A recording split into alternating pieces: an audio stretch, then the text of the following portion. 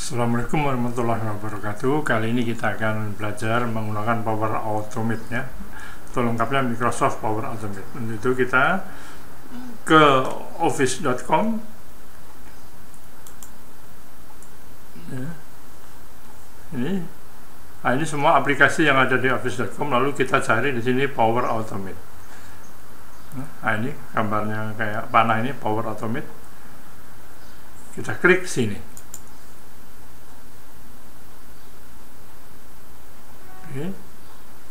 Nah, baik.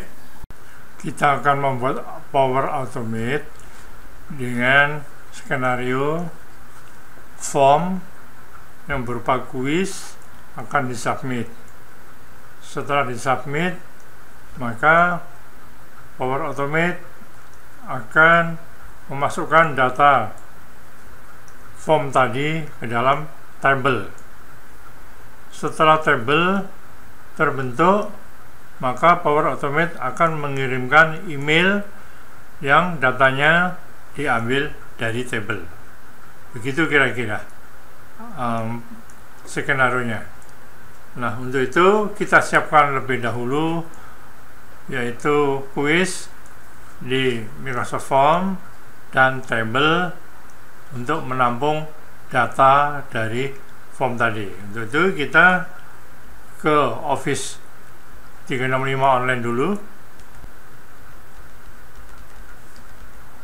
Oke. Nah.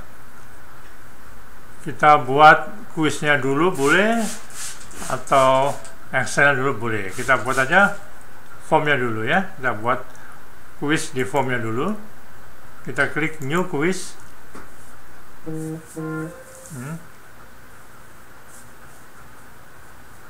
Oke kita beri nama saja. Misalnya kuis 1 ya. Kuis 1 biar mudah aja. Lalu kita buat soal. Soalnya beberapa pilihan. Yang gampang saja ya. Ibu kota oke maka jawabannya kita pilih. Maka ya, lihat. Jeddah ya, oke. Okay.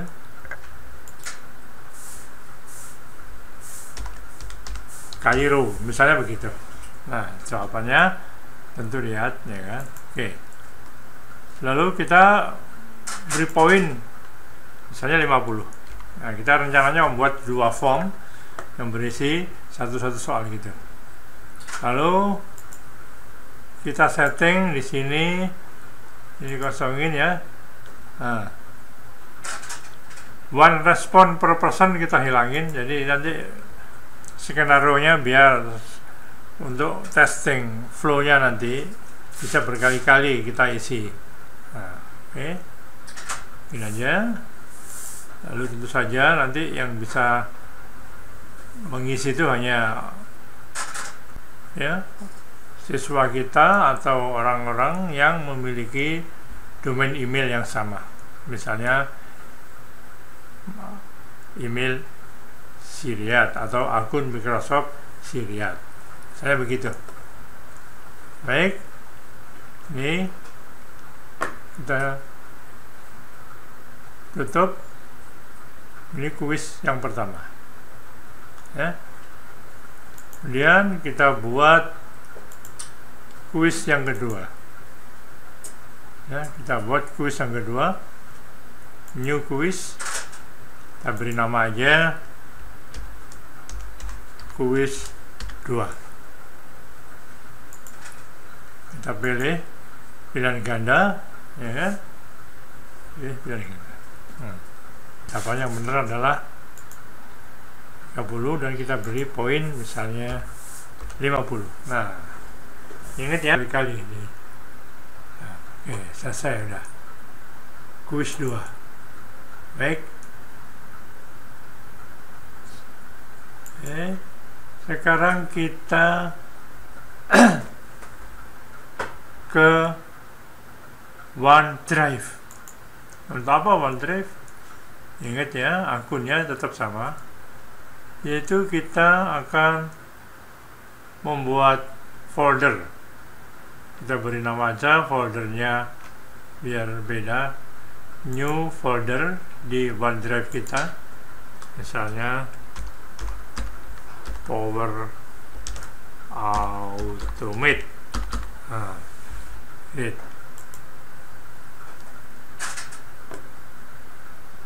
nah ini kita buka power automate Oke, lalu kita buat di sini satu file baru yaitu file Excel tadi. Excel. Jadi kita perlukan Excel yang dibuatnya di folder Power Automate tadi. Tentu saja di sini kita ketik nama, lalu email, nilai 2, lalu ini total nilai. Nah, total nilai. Oke. Setelah itu ini kita blok. Nama sampai total nilai kita blok. Lalu kita klik insert di sini. Lalu kita pilih table. Nah my table as header yes header. Ya tadi yang kita ketik nama email jawaban itu namanya header. Oke. Okay. nah ya akan terbentuk email uh, sorry akan terbentuk tabel seperti ini. Jadi kita sesuaikan nanti ya. Sesuaikan ini kira-kira nama panjangnya sekian email sekian nah. kemudian langsung kita beri rumus di tabelnya yaitu untuk nilai satu menggunakan logika sama dengan if ya sama dengan if gitu. Jika ya kan? If jawaban satu ya jika jawaban satu. Jadi sama dengan kita benar petik sama dengan lihat nah ya lihat lalu koma kalau di komputer saya titik koma ini ya. Titik koma kadang-kadang ada yang koma. Kalau jawabannya yang di jawaban satu itu lihat maka nilainya 50 tapi kalau salah nilainya 0 nah gitu. Baik. Kita taruh di tengah-tengah aja biar enak. Lihatnya biar nilai 2 kita copy dari sini aja nggak apa-apa. Kita copy tinggal kita ganti nanti. Nah ya. Kita copy kita pastikan di formula barnya ini yang kita ganti C2 nya kita ganti dengan D2 nah D2 itu kalau menjawabnya tadi 30 ya kalau menjawabnya 30 maka nilainya 50 kalau tidak 30 hasilnya 0 nah gitu. Ya. Kita taruh di tengah. Baik total nilai ini adalah jumlah nilai 1 dan 2 kita tes dulu ya. Jawaban 1 lihat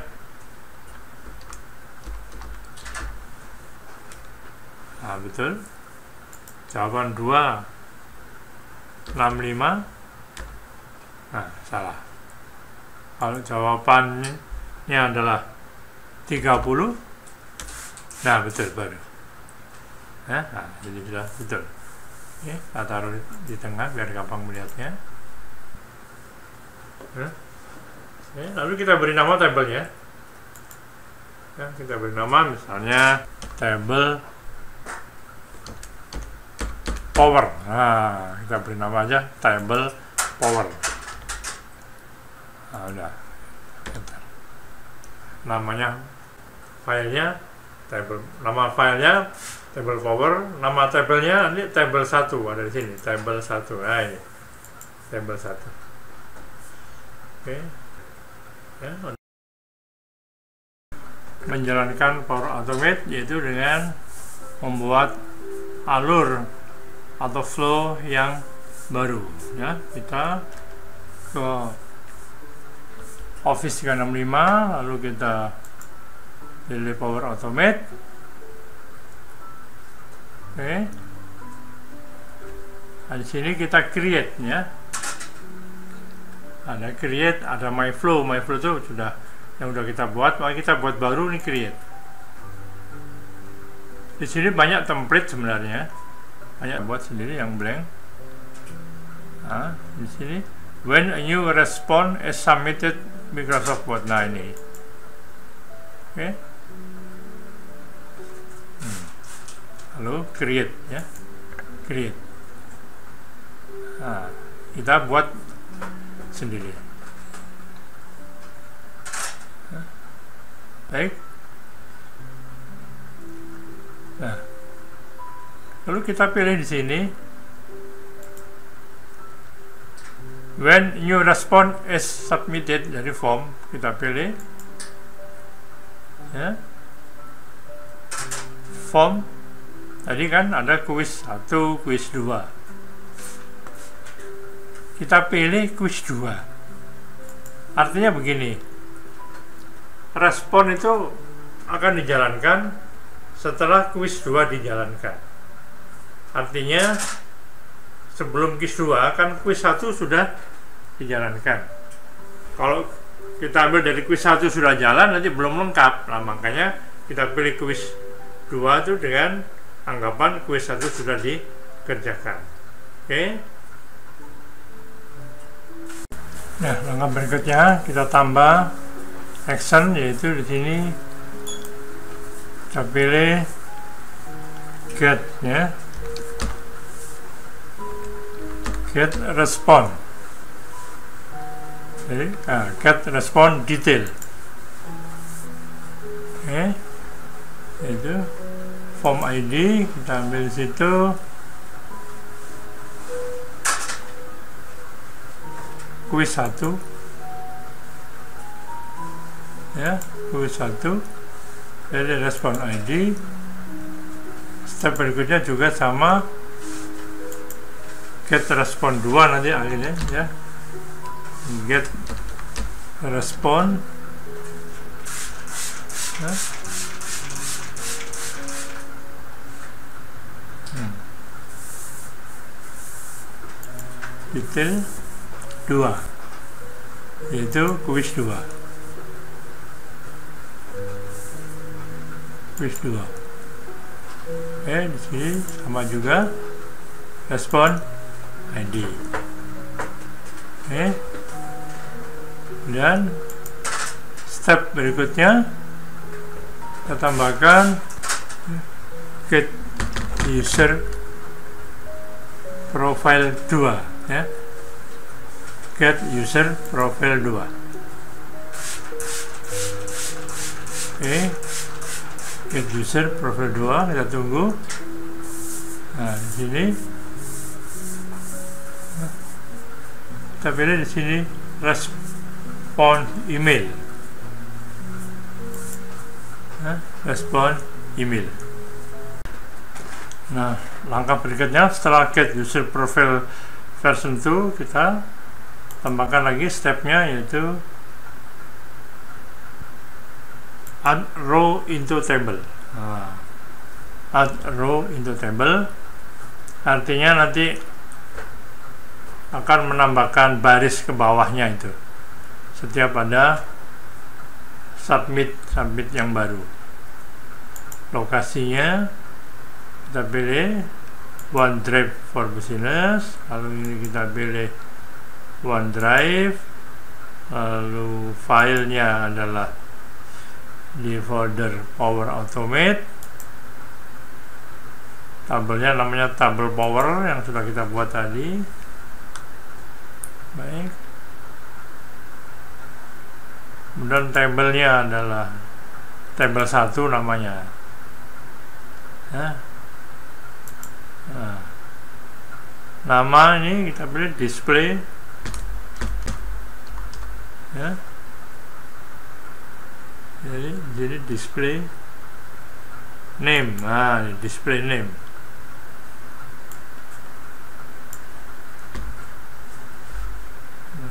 ini dan emailnya adalah respon email. Nah. Nah, di sini apakah nama ibu kota Saudi?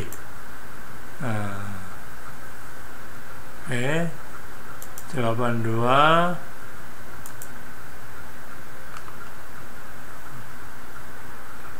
Nah, berapakah hasil operasi itu 5 kali 6? Nah,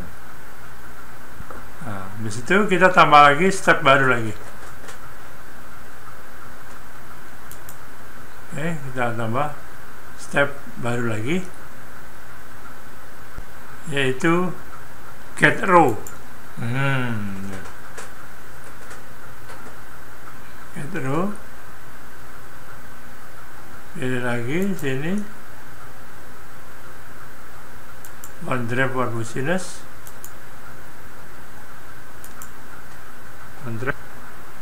okay. power automate. Table power. Tabelnya namanya tabel 1 curriculum. Email. Kayak valunya email ya.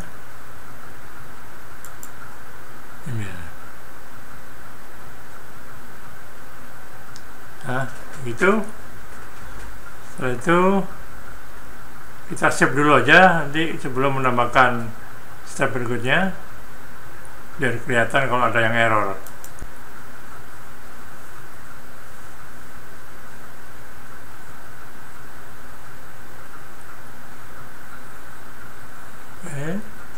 Kita cek flow-nya. Nggak ada yang error ini nggak ada yang error baik. Kita tambah lagi step berikutnya yaitu email. Ya send an email. Jadi send emailnya yang versi 2 ah ini. Send an email di Office 365 Outlook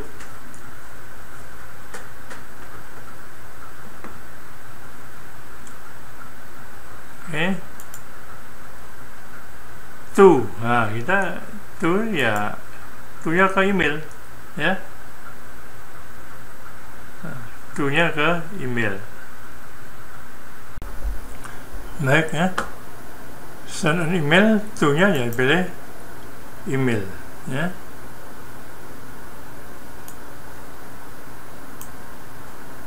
To nya email.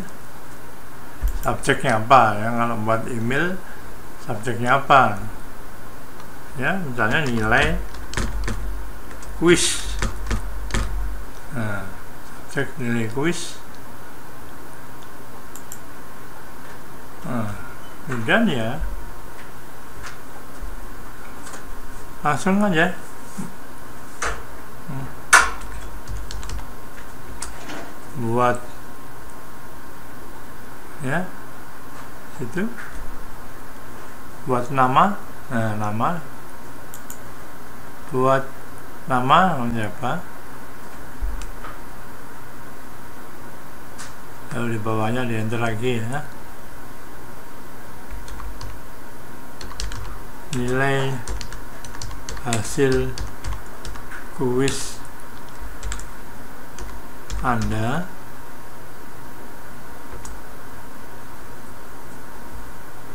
Ya. Adalah nah pilih di sini total nilai nah, hmm. oke okay. lalu bawahnya lagi terima kasih telah mengikuti kuis misalnya oh ya lagi kan ya. Hmm. hmm. guru. Kelas. Hmm. nah, misalnya nama gurunya.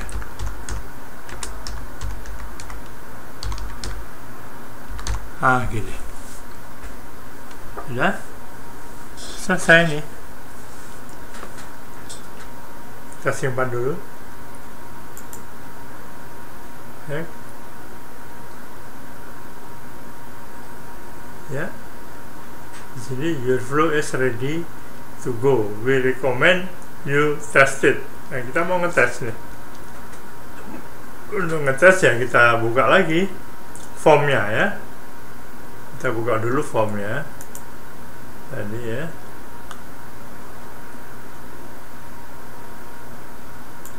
cari formnya tadi jadi ada kuis 1 kuis 2 kita jalankan dulu kuis 1 nah ini kuis 1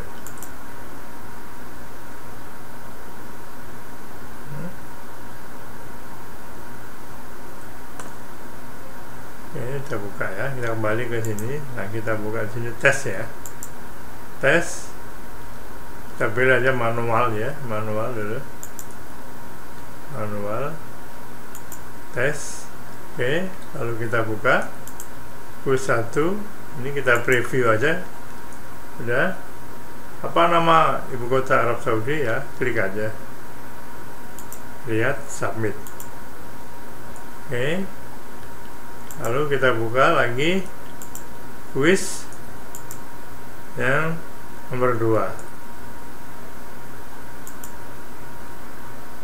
oke kita preview sama aja nah berapakah hasil operasi hitung 5 kali 6 ya 30 submit oke kita kembali lagi ke power automate tadi nah sekarang power automate sedang berjalan. Nanti kita lihat ini masih hijau-hijau. Alhamdulillah sampai send email hijau semua.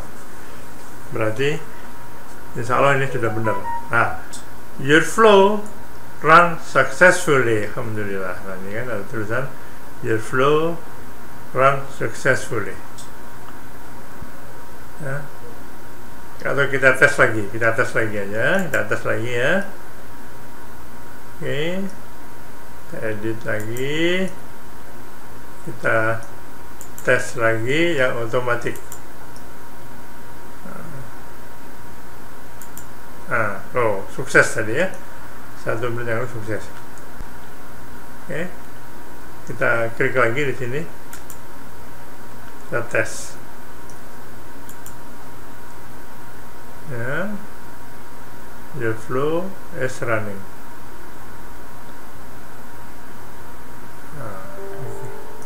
Oke. Hmm. Kita lihat ke table tadi. Nah, sudah masuk. Bentar, ya.